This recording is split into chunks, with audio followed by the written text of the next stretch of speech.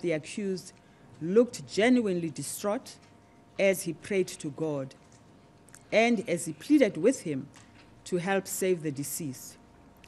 There was nothing to gainsay that observation, and this court has not been given any reason to reject it, and we accept it as true and reliable.